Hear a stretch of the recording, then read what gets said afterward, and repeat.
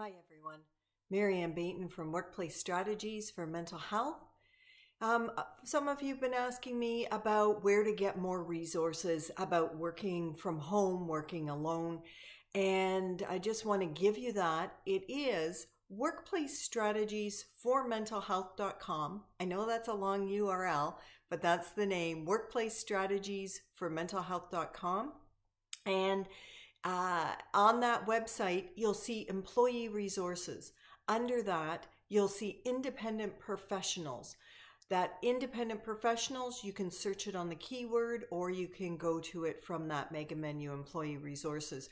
There's so many tips there because I had the good fortune of working with um, dozens of people who have worked alone for years before this and have gone through tough times, have struggled, but have learned how to manage the stress and the strain of working independently. So many tips that are there. Please help yourself, but stay tuned for more short videos from me. Take care, stay safe.